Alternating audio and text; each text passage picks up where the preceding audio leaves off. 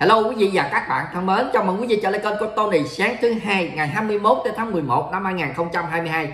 Chúc quý vị một tuần lễ mới an lành, mạnh khỏe và hạnh phúc nhé. Trở lại các phần tin tức buổi sáng ở Mỹ ngày hôm nay, Tony xin phép được chia sẻ và cập nhật những cái thông tin nóng nhất, mới nhất về tình hình của nước Mỹ, về cuộc sống của người dân Mỹ và những cái sự kiện diễn biến nóng bỏng nó đang xảy ra bao gồm những nội dung sau đây. Nội dung thứ nhất, cuối cùng thì Tổng thống Trump cũng đã được bảo vệ quý vị ơi FBI Bộ Tư pháp của chú Bảy sẽ bị lên thớt nội dung thứ hai, Liên Hiệp Quốc báo động đỏ, châu Âu nằm trong cái đường tơ kẻ tóc thảm họa hạt nhân. Nội dung thứ ba, Tractor on the way, đến tay con trai của chú Bảy. Đó là những vấn đề mình sẽ chia sẻ sau đây, mời quý vị theo dõi cũng như thường lệ.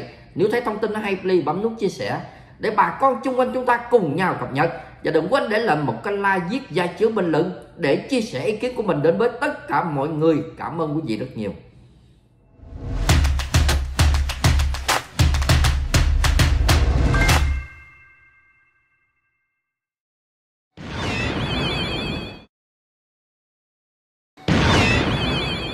Sau đây mình sẽ đi vào cái nội dung thứ nhất, gây cấn và nguy hiểm cho cả vùng châu Âu, quý vị ơi và đặc biệt ở châu Âu thì có rất là nhiều người Việt Nam của chúng ta sinh sống ở bên đó. Nói như thế này nè quý vị. Thì vào ngày hôm qua, cơ quan năng lượng nguyên tử quốc tế gọi tắt là IAEA đã báo động đỏ và cảnh báo là châu Âu đang nằm trong cái nguy cơ thảm họa hạt nhân. Tại vì trong suốt cái thời gian vừa qua, quân lính của chú Buri đã chiếm được cái nhà máy hạt nhân lớn nhất châu Âu và đung một cái trong 24 tiếng đồng hồ vừa qua hai bên pháo kích rầm rộ với nhau chú Buri từ trong này bắn ra bên ngoài bắn vô hai bên bắn qua bắn lại mà chỉ cần một viên đạn thôi nó lọt vào trong cái nhà máy này thì những cái chất phóng xạ nó sẽ phóng ra và nó phủ toàn bộ khối châu Âu và nó có thể lan ra cả châu Á, châu Mỹ, châu Phi, châu Đốc, châu Thành luôn quý vị nhé.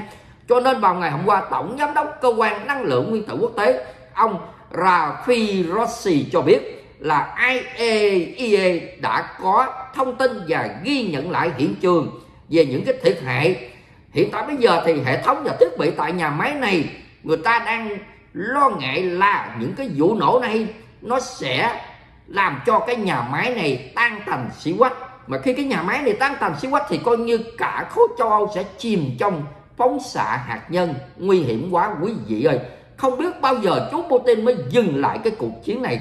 Không biết bao giờ chú Putin mới rút ra khỏi đất nước Ukraine để cho cái thế giới này được hòa bình và chấm dứt chiến tranh. Rồi bây giờ mình sẽ đi vào cái nội dung thứ hai, trở ngược lại đất nước Mỹ, quý vị nha.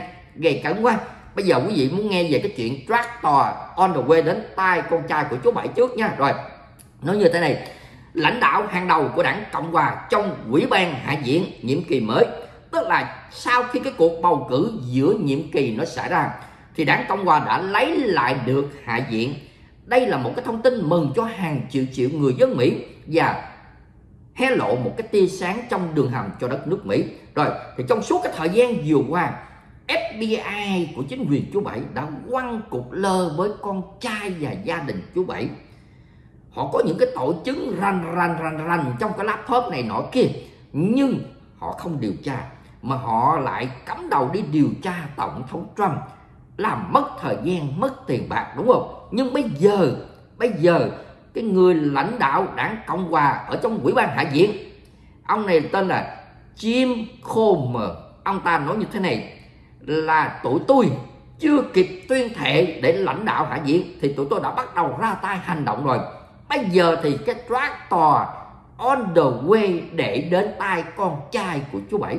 Tức là họ sẽ mở ra cái cuộc điều tra ngay lập tức. Chưa kịp ngồi nóng đất ở hạ viện họ sẽ mở ra cái cuộc điều tra để mà coi coi gia đình của chú bảy đã bao che cho con trai của chú bảy lạm dụng chức quyền hối lộ à, đi đêm này nọ kia nó nôm na tùm lum thứ tội hết. Rồi bây giờ thì sao? Họ sẽ gửi toát tò đến con trai của chú bảy để kêu ông này ra trước dành móng ngựa để hỏi tội, để lượng tội và có thể sau đó tới phiên chú bảy cũng sẽ bị cái toát tò để đi ra mà bị lượng tội luôn đó. Quý vị nha, thì đây đây cũng là một cái thông tin mừng cho hàng triệu người dân Mỹ. Tại vì trong suốt thời gian vừa qua, người dân Mỹ người ta đặt ra rất là nhiều cái câu hỏi là tại sao à cái chuyện rành rành như thế đó mà không điều tra, mà lại đi cắm đầu điều tra tổng thống Trump. Rồi bây giờ mình sẽ đi vào cái nội dung thứ ba, gây cấn và hấp dẫn cuối cùng thì sao? Trong suốt 24 tiếng đồng hồ vừa qua, đảng Dân Chủ chơi một cái chiêu. Sau khi mà họ rụt rịch nghe tổng thống đương nhiệm chú Bảy và con trai bị điều tra, thì họ đã đưa ra một công tố viên, một điều tra viên đặc biệt để tiếp tục điều tra tổng thống Trump, để tiếp tục tìm tòi môi móc tội của tổng thống Trump thì trong suốt 24 tiếng đồng hồ vừa qua rầm rộ trên các đài truyền thông chính thống ở Mỹ, đã la làng la xóm lên, rồi, đã có điều tra viên đặc biệt rồi, kỳ này tổng thống Trump sẽ không bao giờ trốn tội được, không bao giờ trốn tránh được và sẽ bị lượng tội và sẽ bị ở tù này nọ kia. Nhưng nhưng quý vị nghe kỹ nha. Nhưng vào ngày hôm qua, ông dân biểu Jim Jordan, ông này là với tư cách là chủ tịch cơ quan tư pháp hạ viện ông ta đã tuyên bố một câu như thế này là ông ta sẽ mở ra cái cuộc điều tra Bộ Tư pháp và FBI của chú Bảy là tại vì đã bị chính trị hóa. Tức là Bộ Tư pháp đáng lý nó phải đứng chính giữa nó thực hiện cái luật pháp cái hiến pháp của đất nước Mỹ. Nhưng không bây giờ nó nghiêng về phía chú Bảy. Trong suốt thời gian vừa qua nó đã đột nhập vào nhà tổng thống Trump rồi nó này nó nọ nó kia. Đó, tức là nó đã nghiêng về phía đảng dân chủ cái chuyện nó cần làm thì nó không làm. Cái chuyện nó không cần làm thì nó lại làm. Cho nên vào ngày hôm qua, dân biểu Jim Jordan ông này thuộc đảng cộng hòa của tiểu bang Ohio. Ông ta cùng với ông Comer là thành viên của ủy ban giám sát hạ viện đã thông báo là bắt đầu kể từ từ, kể từ ngày hôm nay, họ với tư cách là chủ tịch, ông ta sẽ mở ra cái cuộc điều tra gia đình chú bảy, cũng như là con trai chú bảy và cả luôn bộ tư pháp và FBI của chú bảy là tại vì bộ tư pháp đã nghe lời đảng dân chủ, đã làm những cái chuyện mà không nên làm, đã bị chính trị hóa. Đáng lý bộ tư pháp là phải công minh liêm chính, đứng chính giữa, không nghiêng về đảng này hoặc là đảng này không nghiêng về ai hết. Nhưng quý vị thấy đó, một cái chuyện mà có thể nói là tài trời chấn động cả thế giới đó là đột nhập vào nhà tổng thống Trump một người cựu tổng thống của đất nước Mỹ mà chưa bao giờ có trong cái lịch sử luôn. Tức là đột nhập mà không có chủ nhà ở nhà, rồi lục lội tìm tòi làm tùm lum thứ hết.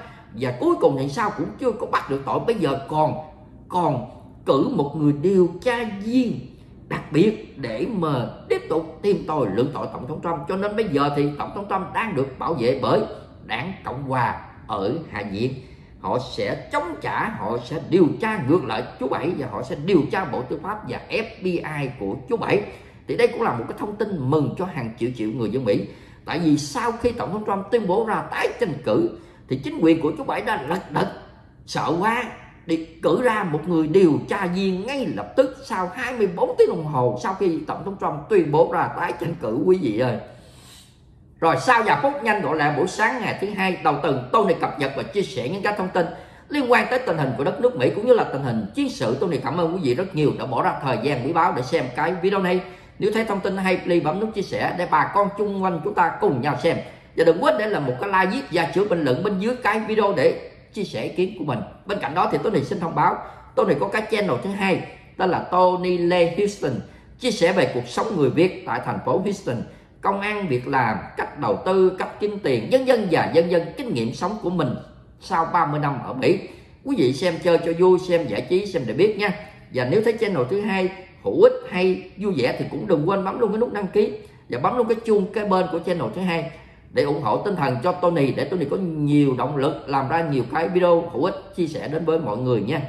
Have a good day. Thank you.